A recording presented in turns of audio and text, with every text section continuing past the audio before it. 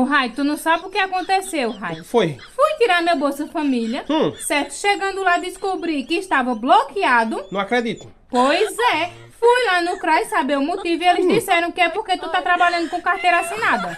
Eita, como foi que eles descobriram Ah, isso? pois foi, meu amigo. Aí eu conversei com a assistente social e disse a ela que apesar da gente estar casado no papel, a gente não mora mais junto, porque a gente tá divorciado, viu?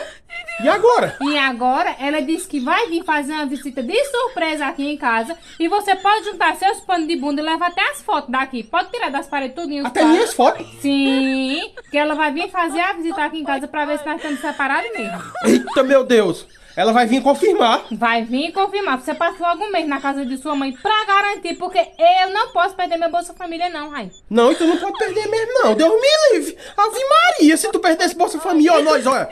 Tá esperando o quê? Tu ainda tá na minha frente. Vai juntar teus panos de Eu vou bunda. agora,